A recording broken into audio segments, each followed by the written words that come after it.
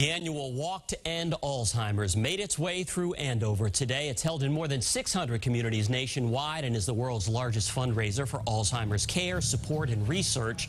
While participants don't have to pay to walk, they're encouraged to raise funds to help the Alzheimer's Association. And a familiar face took part in those festivities. WBZ's Courtney Cole emceed that event.